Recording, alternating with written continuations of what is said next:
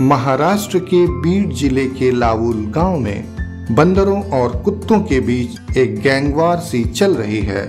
वहाँ पर तीन महीने पहले कुछ कुत्तों ने एक लंगूर के बच्चे को मार दिया था।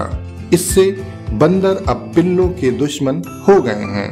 वे कुत्तों पर हमला करके उनके पिल्लों को उठा ले जाते हैं और पेड़ों से गिराकर मार देते हैं। इस तरह से अब तक 80 से अधिक पिल्ले मारे जा चुके हैं। लंगूर प्रजाति के ये बंदर आमतौर से शांत रहते हैं, लेकिन जब कोई उन्हें छेड़ देता है तो फिर संभालना मुश्किल होता है।